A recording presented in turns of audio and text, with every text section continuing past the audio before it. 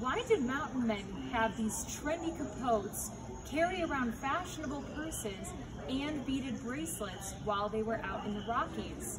Find out by signing up with a virtual Skype lesson at the Buffalo Bill Center of the West.